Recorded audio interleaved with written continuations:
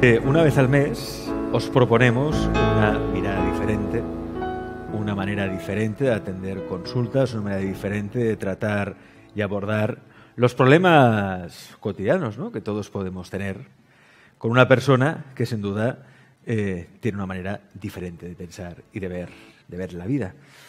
Un excelente artista, excelente músico, excelente persona que ahora mismo nos acompaña aquí en directo cuando son las 9 y 16 minutos de la tarde-noche en España.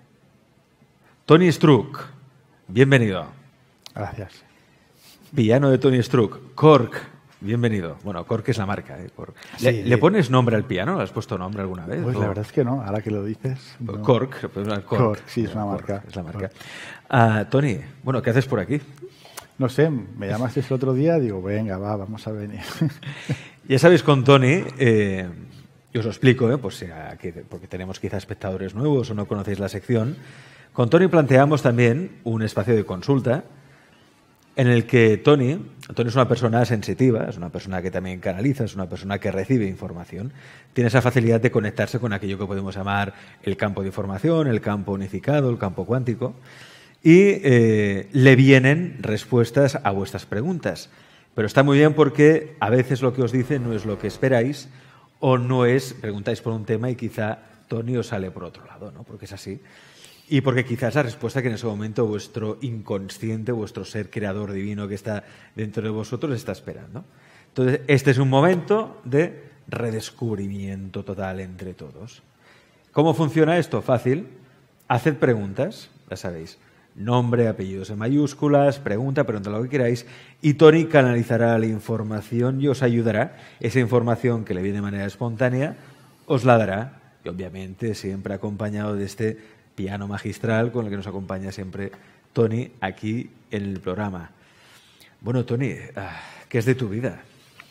Pues bueno, preparando muchas cositas, la verdad, sí, sí. Em, faltan ya tres meses para el Congreso Online de Meditación, donde vosotros también tenéis algo que decir, me han dicho. Sí. Y la verdad es que, bueno, ya acabando de grabar todo, preparándolo todo, también con escribiendo cositas a ver si sale un segundo libro por ahí. La verdad es que, bueno, esto es un no parar y por suerte no. Ha sido, ahora que se acaba este 2020, en lo personal, un año bastante, Ajá. bastante guay. ¿Y se te están presentando proyectos inesperados? Que dices, anda. Muy inesperados que aún no puedo decir. No, obviamente. Pero la verdad es que lo mágico es cuando tú no esperas nada que aparezca. Y eso automáticamente te llega a la reflexión siguiente, que es cuando yo me pregunto por qué es o, o intento controlar mi vida para que un futuro sea mejor y todo ese tipo de cosas. Y luego suceden episodios en tu vida que te desmontan todo eso y dices, ¿para qué me voy a seguir preocupando si no puedo controlar nada por más que lo intente? ¿no? El otro día ah, leía una noticia donde realmente se ha cuantificado que el universo tiene 13.000 y pico millones de años. Entonces, tú imagínate esa, esa en- inmensidad universal de 13.800 millones de años, o así, o 13.000 millones de años, y nosotros con nuestra vida de 70, 80, 90 años, intentar controlar eso. Es un poco absurdo. Pero lo es- estamos empeñados en intentar controlar esos 13.000 millones de años de experiencia. Lo queremos controlar con esta cosita de aquí, con nuestros 40, 50 años, porque seguro que yo lo puedo controlar. No. Es la primera gran ilusión, ¿no? O la primera gran mentira, creer que tenemos algo bajo control. Pues no tenemos nada bajo control realmente. Absolutamente nada. Absolutamente nada. Es, y luego sucede que cuando uno, en vez de controlar externamente, quiere controlarse a sí mismo, utiliza el autocontrol. Entonces, después ahí también genera un- una especie de funcionar que acaba enfermando y tampoco funciona, con lo cual el control en ninguna de sus maneras o formas tiene sentido. No obstante, aquí se presenta una contradicción en el sector, en el mundo espiritual, porque decimos que el creer que uno tiene control sobre algo es una ilusión, un gran engaño, una gran mentira, pero luego en el mundo espiritual hay algo que se llama, por ejemplo, la ley de la atracción, en el que pretendemos que sí, que somos capaces de controlar el universo y de controlar la realidad de lo que vamos a experimentar a cada momento, con lo cual no tenemos control, pero en cierta manera sí. ¿Cómo convives? Sí, esto para mí es, desde mi punto de vista, ha sucedido o sigue sucediendo que hoy en día en la sociedad hay ciertas cosas o hay ciertas em, frases, expresiones que nuestra mente manipula y nuestro ego colectivo asocia a una forma de ser. Por ejemplo, eh, una fácil forma de entender esto es que nosotros la crisis la entendemos como entendemos y en Japón crisis es otra cosa, es oportunidad. Y es la misma palabra, con lo cual lo que acaba sucediendo es que una conciencia colectiva le da a una palabra o una forma de entender las cosas un poder que no tiene que por qué ser el de verdad o el real. Con esto sucede lo mismo. Parece que la ley de atracción tiene que nacer de un futuro control de algo que yo quiero que suceda en mi vida. Por ese motivo nunca va a suceder, porque cuando tú estás intentando controlar algo, eh, creando una expectativa porque quieres atraer algo en un futuro, lo estás atrayendo desde lo que tú piensas ahora que tiene que ser ese futuro. Pero, por ejemplo, un caso de, más fácil de ver que es el amor o la pareja, ¿no? Es que yo quiero un prototipo de persona en mi vida que sea así, quiero atraer este tipo de persona. Esa persona que tú estás pidiendo atraer, la estás pidiendo desde este momento actual y puede ser que ahora te gusten morenas y dentro de cinco años te gusten rubias. Entonces resulta que has atraído a esa rubia y luego, ostras, pues ya yo lo que quería era una pelirroja. Y nunca acaba de llegar porque siempre que estás pidiendo desde la hora, estás pidiendo desde las carencias que tienes ahora. Con lo cual, la ley de la atracción a nivel de conciencia, bien entendida bajo mi punto de vista, es siempre que tiene que partir del anhelo del corazón.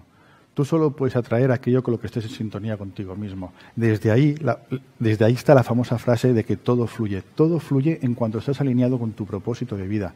Y ahí es cuando puedes atraer las cosas que puedes atraer.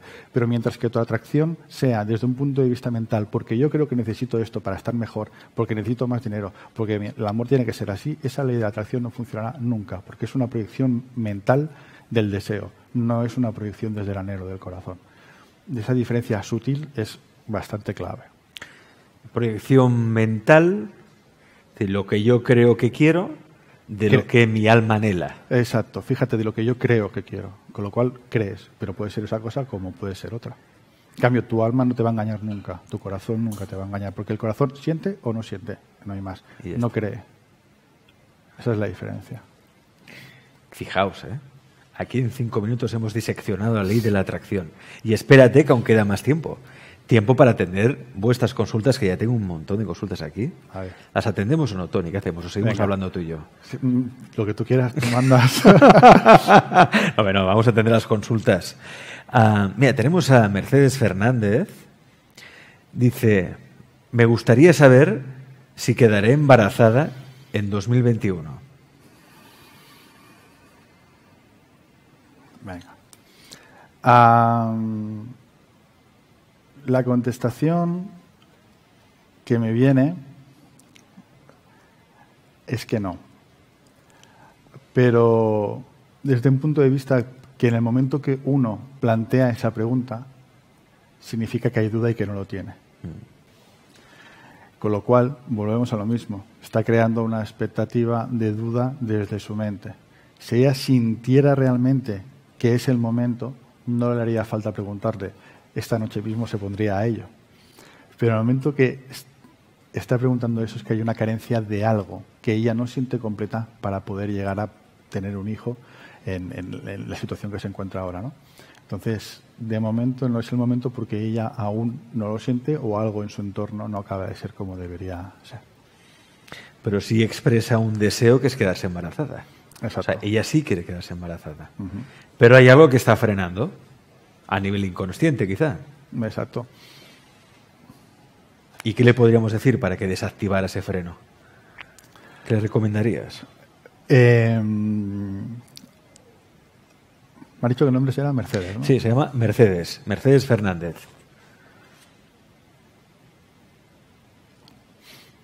Que deje de sentir ese futura, esa futura vida como algo que la va a completar, sino que empiece a sentir esa futura vida como algo que le va a enseñar muchas cosas en la vida.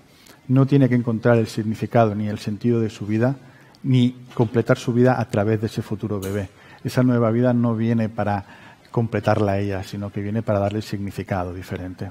Con lo cual tiene que empezar a no pedir desde la carencia y empezar a pedir que siente ese bebé para, eh, ¿cómo decirlo? Como para que su vida tenga una nueva forma de entender las cosas. Es un poquito eso. Mercedes, ¿qué te llega? Oye, explícanos también, ¿eh? porque esto es un... A mí me gustaría también hacer coloquios con vosotros, que está muy bien, con la consulta recibo la respuesta y ya está, ¿no? Pero, oye, Sí, sí. repreguntad, claro. comentad. Si aquí estamos en familia, estamos entre amigos. Aprovechando que estamos entre amigos, Sí. ¿puedo pedir agua? Porque tengo... Mira, es pues muy bien pensado. Producción, ¿podemos traer agua para Tony? Es que siempre bueno, me la- agua lo que tengamos en Sí, siempre me la lo pone- que tengamos en el bar, ¿eh? Siempre me la ponéis, yo la echo de falta, de menos, como se diga. a Dunia, Dunia Regidor, desde Valladolid. Claro, me pregunta, mira, es una pregunta, Tony, que están haciendo mucho estos, estos días. ¿eh? ¿Me saldrá trabajo? En este caso ya dice trabajo de especialidad en audición y lenguaje en un colegio. Se ve que ha opositado, tiene ahí, o quizá una plaza, o está, tiene, está en la lista de espera para entrar en este colegio. ¿no? ¿Me saldrá el trabajo de especialidad audición y lenguaje en un colegio? Me llamo Dunia, Dunia Regidor, Valladolid, España. La respuesta que me viene es sí, porque está muy alineado con lo que ya he venido a hacer aquí. Lo único que tiene que acabar de hacer es concretar más dentro de esa especialidad suya dónde quiere llegar. Eh, pero porque quizá hacia donde lo está enfocando no sería el camino eh, final hacia cuál es su propósito de vida, pero sí que está muy alineada con lo que es su talento, con lo que es su don, con lo cual la respuesta es si no es en esto será otra cosa, pero que, que le va a ir bien seguro. Fíjate lo que dice Mercedes, la primera consultante, dice, Gracias, dice, wow, pelos de punta. Muchas gracias, Tony. Me ha resonado mucho, dice Mercedes. Tiene unos pelos de punta ahora mismo. Cuando yo contesto, mm, suena un poquito extraño lo que voy a decir, pero eh, yo lo único que hago es de, de canal para filtrar las, las palabras que, eh, que, me vienen. Entonces, si le ha resonado así, me alegro de que sea así. Eso significa que detrás suyo hay todo un universo apoyándola, que lo que tiene que hacer es dejarse guiar por ese universo, que es una cosa que hablábamos un poquito al principio. A, a la gente que ahora tiene problemas para encontrar trabajo, tiene carencias económicas, que son unos cuantos, ¿eh? Hay personas que lo están pasando realmente mal. ¿Qué les podríamos recomendar, Tony? Es algo mm, muy simple que está en nosotros. Eh, además, eh, si me permites, justo cuando he entrado a la entrada de aquí del plató de televisión tienes un cartel que me ha encantado y que lo he colgado en Instagram, que le he hecho una foto y creo que para esto sería perfecto, que dice que un adulto creativo es un niño que ha sobrevivido. Esto lo tienes en la entrada de tu, Sí. de tu plató. ¿Cierto? Eh, para mí, eso es un poco la respuesta que, que puedo decir a todo ese tipo de gente. Ha llegado un momento donde ya no es necesario y donde la vida, donde el universo, no nos está llevando a tener una economía de subsistencia para llegar a final de mes. Esto ya ha pasado a otro nivel. Cuando suceden estas catarsis es porque tenemos que llegar a un paso siguiente en nuestra evolución como especie dentro de la conciencia a la que pertenecemos. Y la única manera en la cual podemos empezar a entender la vida es empezar a darnos cuenta que solo podemos vivir y muy bien y en abundancia a través de nuestro propio talento y nuestro propio don. Justamente cómo consigues eso, pues como dice esa maravillosa frase de que es un adulto, o sea, un- cuando tienes tu talento eres una- un niño divirtiéndose. Pues ha llegado el momento de volver a recordar qué es aquello que nos aportaba felicidad, qué es aquello que nos hacía sentir bien, qué es aquello que hace que las horas pasen y no me dé cuenta que el tiempo esté volando. Eso es lo que me volverá a abrir las puertas. Porque yo, si tengo un problema económico y lo único que intento es que me aparezca un trabajo para llegar a final de mes, eso dura lo que dura. Porque hemos llegado a un momento que estamos en la época de la globalidad y como todo en la vida hay dos partes. Está la globalidad desde el punto de vista de la mano de obra se va a subastar a la más barata, Sí. pero también estamos en la época de la globalidad donde mi talento puede llegar a todo el mundo.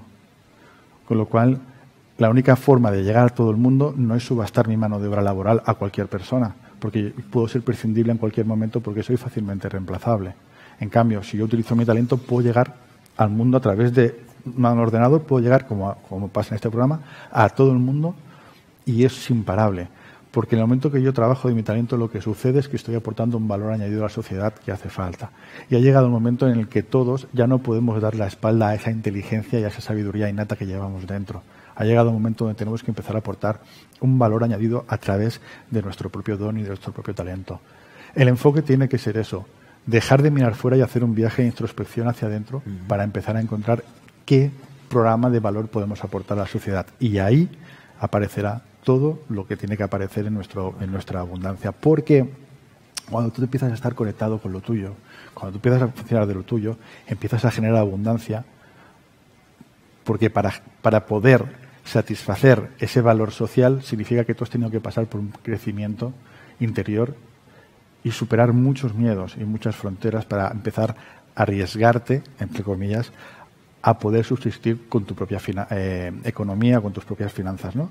Esa superación acaba siendo un modelo para el resto de gente y eso acaba generando abundancia, porque tus respuestas internas son respuestas para otros. Volver a, a, divertirnos, volver a jugar, ¿no? tener un sentido lúdico de la vida, que esto no es un valle de lágrimas y que hemos venido a jugar al fin y al cabo. ¿no? ¿Sabes qué ocurre? Que tengo la sensación de que todo lo que es natural en nosotros es imposible. Eh, en nosotros es natural divertir, eh, divertirnos, en nosotros es natural ser felices, en nosotros es natural respirar, en nosotros es natural meditar, en nosotros es natural alimentarnos y todo eso acaba siendo lo único que nos casi antinatural. Ni nos damos cuenta que respiramos, ni nos damos cuenta que la meditación forma parte de nosotros, ni nos, cuando comemos estamos con el WhatsApp y tal, no comemos. Todo, todo lo que es importante y natural lo hemos eh, ¿cómo diría yo? Lo hemos tirado a la basura, lo hemos... Eh, eh, esto, venga, a comer en cinco minutos. Claro, todo eso es lo que es la vida. Y ahora nos pensamos que la vida es todo lo contrario, que es sufrir, que es no llegar al final del mes, que es tener deudas. Entendemos la vida como la deuda, como el sufrimiento, como el control, como la, angustia, como la depresión. Eso es lo normal. Está subiendo cada año un 35% de medicamentos ansiolíticos, cada año se están recetando un 35% más. Eso no es lo normal. Lo normal es ser felices, ser divertirnos con lo que hacemos nos imaginamos que el universo que tiene 13.800 millones de años nos manda aquí para sufrir, nos manda aquí para no ser felices, no tiene ningún sentido. Pero lo entendemos así. Lo entendemos así, porque nos han enseñado desde pequeñitos que la vida se consigue las cosas porque por esfuerzo, por lucha, esto es una competición, hay que ser el mejor, incluso hay que estar dispuesto a pisotear a los demás porque no hay suficiente para todos. Como no hay suficiente para todos, pues tienes que ser el mejor. Exacto, es que hemos cambiado eh, educar en latín etimológicamente significa educar, bueno, es educare y eso significa acompañar al otro a sacar lo mejor de sí. Y hemos cambiado eso por formar, que viene también del latín formare, que significa formatear, es decir, tus programas originales no sirven, te los cambiamos y te ponemos otro para que cuando salgas al mercado laboral se dé lo que esperas de ti, sin más. Entonces, claro, pues eso, la competencia, Pregunta de Ana Gonza, dice, hola, hola Tony, ¿me llegará la pareja que me acompañe esta parte de mi vida? Sería maravilloso para compartir. Muchas gracias por vuestra ayuda. ¿El, nombre, por favor? Ana, Ana Gonza, Ana. Me sale que no, porque tiene miedo. Ella aún tiene miedo a compartir su vida. Lo está deseando, pero no se acaba de dar el paso porque no se ve suficientemente segura al lado de otra persona.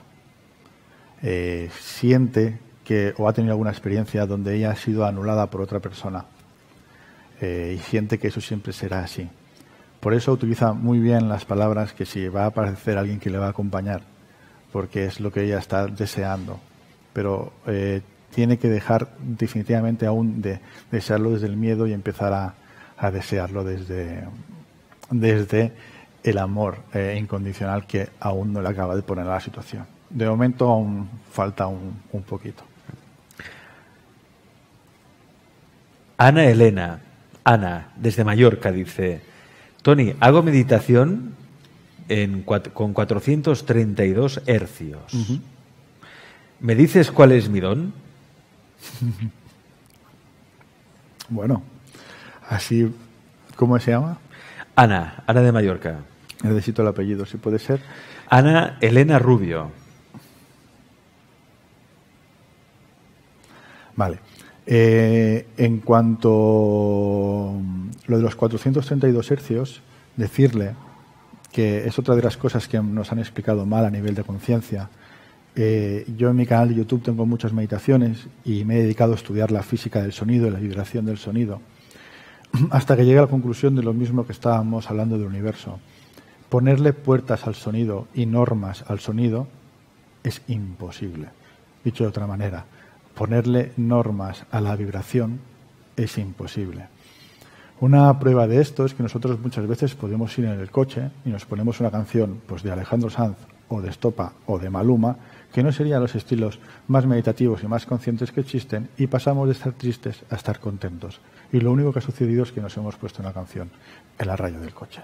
Y esa canción no está ni a 4.32, ni a 4.36, ni a 5.30, está a 4.40 o comprimida en MP3 que ya no sabes ni en qué frecuencia está. Con lo cual, la vibración es vibración y da igual la norma que sea. Sí, por ahí como una tendencia, una moda, ¿no? Que tenemos que meditar en la frecuencia 432, no mejora 514, no sube a 600. ¿Por qué nos complicamos tanto la vida? Y, en las discotecas que están hechas para bailar, yo veo mucha gente que, aparte de las sustancias, mucha gente que baila se lo pasa perfecto y no creo que estén a 432 esas yo frecuencias.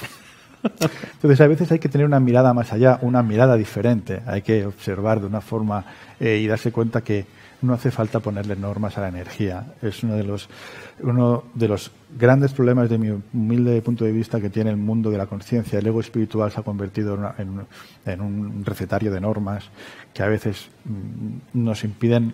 Buscamos en el mundo de la conciencia una libertad que las mismas normas del mundo de la conciencia nos la quitan. No tiene mucho sentido, ¿no? Por querer tenerlo todo bajo control. Exacto. En cuanto a su talento, es eh, la creatividad y la administración la creatividad y la administración. Pues Ana, ahí lo tienes. Quizá también, en el mundo espiritual, esto es cierto que nos encanta poner etiquetas a todo. ¿eh? Y al final, tú repasas todas las terapias que hay, desde biodescodificación, reverding, sanación del linaje kármico, regresión a vidas pasadas, y todas son, pero vamos, comparten contenidos y prácticamente hablan de lo mismo.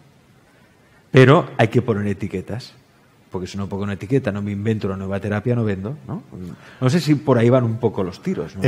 Fíjate que hoy en día lo que nos define como espirituales es una serie de cosas que hacemos y una manera de comportarnos, cuando la esencia de la espiritualidad es ser. Tú eres espiritual con independencia de lo que hagas, eres espiritual. No entonces no, no tiene mucho sentido todo esto que se ha creado. Y justamente cuando tú eres espiritual lo que buscas es el menos juicio posible, las menos etiquetas posibles, y en cambio lo que hacemos es etiquetar y enjuiciar más, porque esto tiene que ser así, así, así. Y al final, pues no tiene, no tiene mucho, es un contrasentido constante. Pues, Opino igual. Eh, consulta de Alberto, Alberto Pacheco, dice, Tony, ¿algún mensaje del cielo para mí? Del cielo. Alberto Pacheco López. Eh, la respuesta es bastante rotunda en este sentido y está llena de ironía, en el sentido de que las respuestas del cielo es cada instante de su vida. Nuestra forma natural de ser como seres humanos es el estado meditativo. Y para llegar a ese estado es darnos cuenta que toda la existencia es meditación en movimiento y que yo formo parte de esa meditación, de esa existencia, con lo cual formo parte de esa meditación. En el momento que yo entiendo eso, me doy cuenta que estoy conectado siempre a esa conciencia y la única forma de conectarme a esa conciencia es a través del corazón. El corazón siempre está en contacto con la conciencia. Los astrólogos a eso le llaman el famoso hilo de Ariadna. A través de ese hilo de Ariadna me está bajando información constantemente de la fuente, de esa parte de vida, a la, de esa conciencia a la que yo pertenezco, a ese origen al que yo pertenezco. Con lo cual no hace falta que me centre en buscar eh, mensajes del cielo o si tengo alguno o no. Es que él mismo, cerrando los ojos y escuchando los latidos de su corazón, se dará cuenta que permanentemente está recibiendo mensajes del cielo. Y lo primero que tiene que darse cuenta es que justamente tiene que dejar de buscar esos mensajes como una forma de tirar hacia adelante como una especie de muleta y darse cuenta que todos esos mensajes ya forman parte de, su día a día, desde el punto de vista en el que no, no tiene que ir más allá, sino que se tiene que quedar mucho más aquí. Esto ocurre mucho también en la religión. Eh, con el tema que hablábamos antes, ¿no? de, de la conciencia y las normas resulta que las religiones rezan al amor más divino que hay, que es el cielo, desde el miedo. Por favor, que no pase esto. Es imposible que funcione nunca, porque estás pidiéndole a la alta energía, desde la más baja que hay, que es el miedo. Y lo mejor de todo es que encima estás pidiendo que lo que suceda, suceda como tú quieres, no sea que lo que no sea como tú quieres te dé miedo. Con lo cual no tiene ningún sentido. Y es que yo rezo, pero no pasa nada, claro. ¿Desde dónde rezas? Por favor, que no pase esto, por favor. Es imposible. Que al final acaba pasando. Lo acabas atrayendo, ¿no? En vez de decir, oye, deseo abundancia, prosperidad, me abro ¿no? a lo que el universo tiene para mí, que es magnífico, te quedas ahí pequeñito, ¿no? que no pase esto, que no pase esto. Y al final, ¿qué pasa? Pues acaba pasando. ¿Es así? Porque el no no se entiende. El no el universo no lo entiende, el no el inconsciente no lo entiende. Laura Gómez dice, Tony, ¿algún mensaje para mí? Laura Gómez Reyes, vivo en Puebla, México. ¿Algún mensaje para mí? Laura Gómez Reyes. Pues mira, me viene que tiene que empezar a fluir con algo que ella hace tiempo que está sintiendo y que no se acaba de atrever a ir a por ello. Así que le aconsejo que empiece a fluir con eso y que se quite el miedo, porque eso va a significar un cambio importante en su vida. Es lo que me viene. No hay tiempo para más, más que nada porque fijaos en la hora 9 y 43. Yo quiero que Tony acabe en su casa y no en comisaría. Así que despedimos. De nada, Tony, para eso estamos, para eso están los amigos. Tony, gracias por estar en Pandora. Y cómo no, nos despedimos tocando piano. Con la suave melodía del piano de Tony. Adelante, Tony.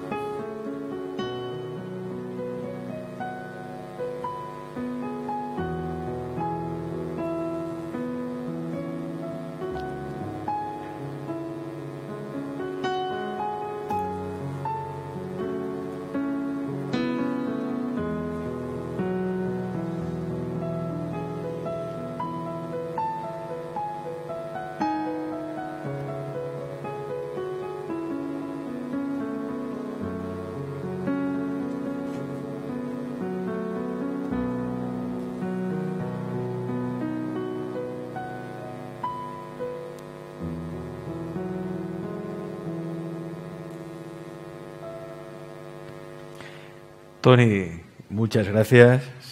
También eh, despedimos a nuestro invitado cabido de excepción, ese chisporreteo que a veces ¿Ah, hacen los cables que hacen mala conexión. Pero no pasa nada, chisporreteo, gracias. Interferencia, gracias por haber venido. Algún mensaje tiene que haber en ello. Está claro. Cambia el piano. no, no creo. Cambiaremos nosotros el cableado, en todo caso. Tony, muchas gracias. Nada,